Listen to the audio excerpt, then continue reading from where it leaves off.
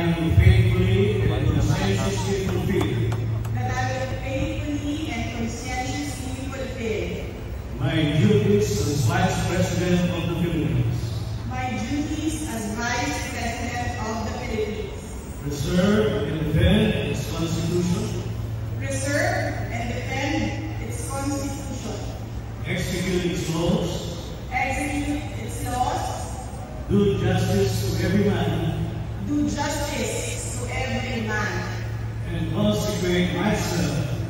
and consecrate myself to the service of the nation.